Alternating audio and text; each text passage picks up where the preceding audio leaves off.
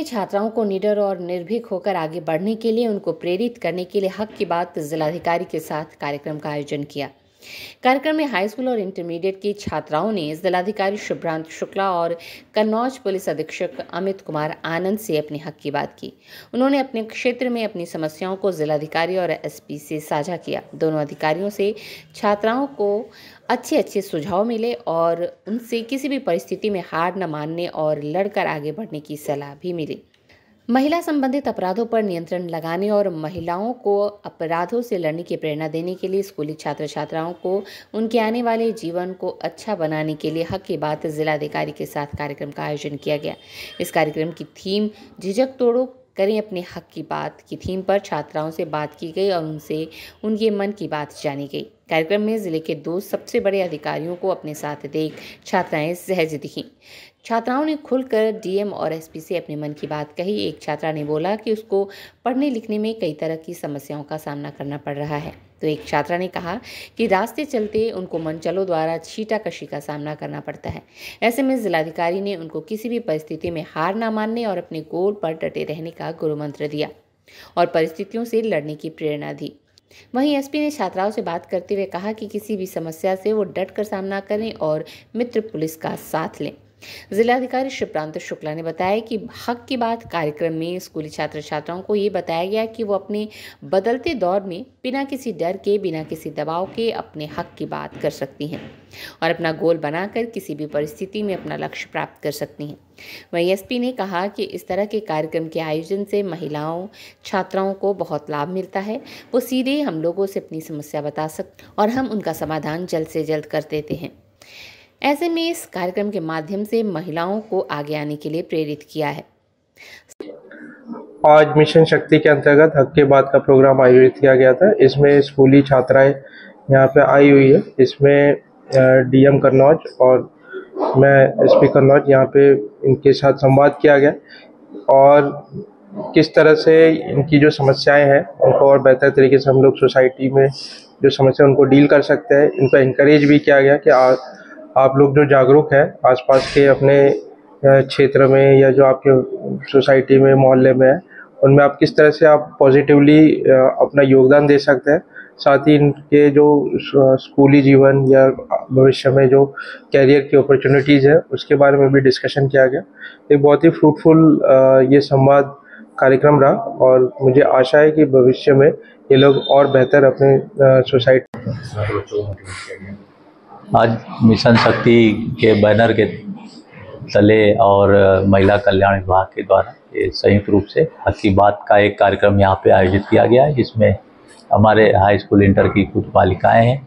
इन लोगों से हम लोगों ने आज दो घंटे इंटरेक्ट किया। इनके बहुत सारे इशूज़ हैं, जीवन कैसे अच्छा बना सकते हैं, इनका कैरियर के बारे में क्या है, सुरक्षा के बारे में है, सरकार की बहुत सारी योजनाएँ हैं, इसके बारे में है। तो बालिकाओं, महिलाओं के लिए सुरक्षा, स्वावलंबन, शिक्षा, स्वास्थ्य, कई आयामों को समेटे हुए जो प्रयास हो रहे हैं, उसके बारे में इनसे चर्चा हुई, इनको हम लोगों ने गाइड किया मोटिवेट किया।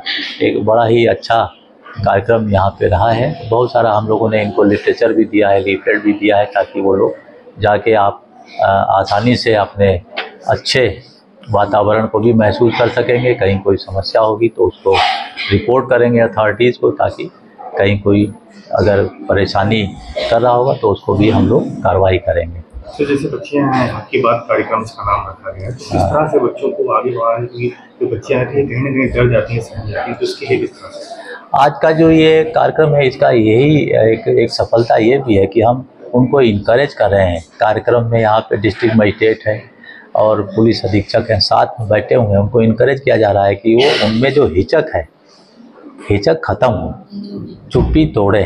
तो उनको हम लोग इस तरह से इनक्रेज कर रहे हैं कि आप लोग अब दबिए नहीं, आप डरिए नहीं, अपना हिचक तोड़िए और अपनी बात रखिए, आगे बढ़िए। तो उसी की दिशा में ये प्रयास है। आज ये कलेक्ट्रेट लेवल पे किया गया है, तहसीलों में हो रहा है, गाँव में हो रहा है।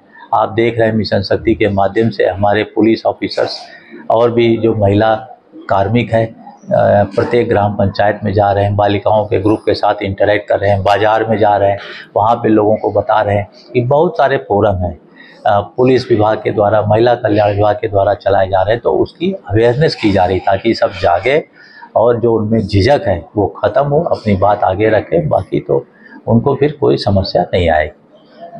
मेरा नाम अंशिका शर्मा है। कौन सा कार्यक्रम जिनसे था और किन से बात करिए आप लोगों ने? जी हम लोग हम लोग आए थे अपनी मतलब अपनी बातें रखने के लिए और हम लोगों ने आईपीएस ऑफिसर से बात की। है सर से सर ने हम लोगों को बताया कि मतलब हम लोगों की समस्याएँ पूछी थी और उनके समाधान बताए। मतलब लड़कियाँ जो लड़कियाँ जाती हैं और उनके मतलब रास्ते में छेड़छाड़ करते हैं बस ऐसा वगैरह तो उन लोगों की भी मतलब सोल्यूशन बताया है कि महिला सशक्तिकरण में हम लोगों को किस तरह से हेल्प मिलती है और बहुत सारी सुविधाएँ हम लोगों को मिल रही हैं। आदि इन सब बातों के लिए हम लोगों को प्रोत्साहित किया और बताया भी है। जागरूक भी किया था हक की बात। हक तो की बात लोग अपने हक की बात कैसे करते हैं? हम लोग अपने हक की बात इस तरह मतलब जैसे हम लोगों के हम लोगों की लाइफ में जो मतलब आते जाते या मतलब जो भी प्रॉब्लम्स आती हैं वो हम लोग बताते हैं। वो उन सब की मतलब जो प्रॉब्लम्स होती हैं उनको क्रिएट करने के लिए हम लोगों की हेल्प की जाती है। वो सब समस्याएँ जो होती हैं वो हम लोगों की दूर होती हैं। इससे आती हैं और अब आप आज सीख के जा रहे हो जैसे मतलब- जैसे हम लोग कहीं रास्ते से जा रहे हैं, सुनसान है, वहाँ पे जैसे कुछ लड़के खड़े हैं और वो हम लोगों को परेशान करते हैं। तो मतलब कुछ लड़कियाँ होती हैं जो उनके मतलब उन लोगों से लड़ नहीं पाती हैं या बगैर कुछ भी मतलब कर सक नहीं बोल पाती हैं।